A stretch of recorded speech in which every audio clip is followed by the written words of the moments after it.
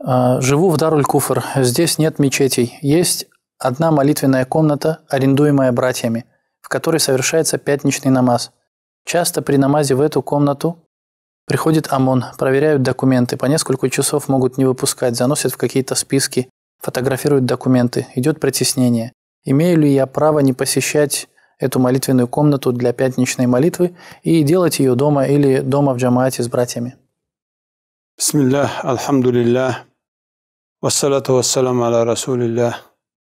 Есть такое положение, если тот, кто пойдет, учет бросает, этот кафир приходит, их проверяют, и списки этих террористов бросают, в, такой, в таком положении можно не пойти джума, дома обеденный намаз делать.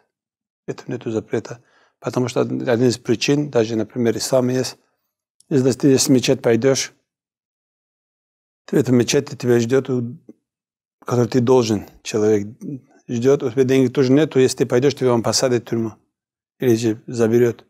В такой момент тоже ислам разрешает не пойти джума. Тем более здесь кафири окруженный мечеть.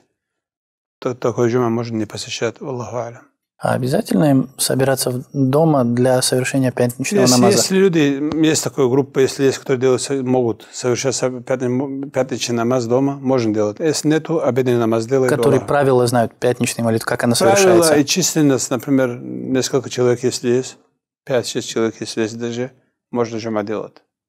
А так, если нету, и мечеть нету, и нет, тогда обеденный намаз делают, и все.